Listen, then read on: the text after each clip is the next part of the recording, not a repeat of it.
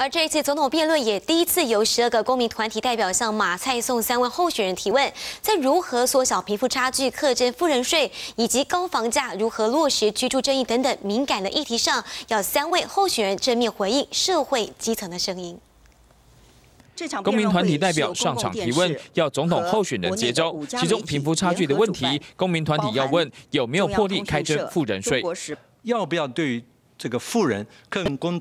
更课更多的税，我基本上我们的税制也应该是这样，所以朝这个方向改革是对的。但是资本利得税能不能开征，要必须审慎，因为最主要的原因要看到它能不能真正达到我们的目的。所以我说课富人税，我赞成。我们在上一次执政的时候，成功的将这个最低税负制来把它建立起来，目的也就是像我们在这个社会上，他的财务状况比较好，收入比较好，就俗称的富人。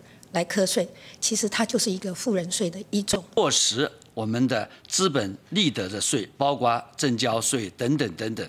同时，我会召开全国的财政会议，因为这些在留子孙的问题已经不是财政问题，是国家安全问题。贫富差距加上高涨的房价，也掀起公民团体对于居住正义的关切。居住正义无法，我知道，包括杨凯兄都不满意。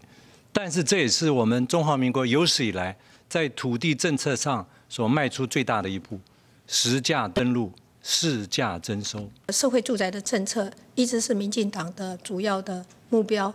那我们也希望就是说，在长期来看，可以达到我们房屋总存量的百分之十，那也大概是八将近八十万户。我承诺，对于这个租都市住宅的问题，要做呃大幅度的改变政策。第一。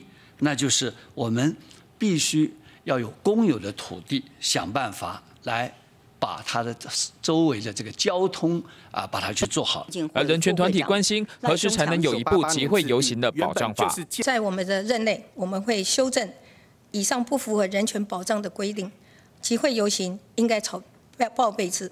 不需经过主管机关的审核同意。我在在野的时候就提出来要修改成报备制，我上任之后就提出了草案，就是报备制。可是很遗憾的，在立法院呢，民进党不接受，他要废除掉。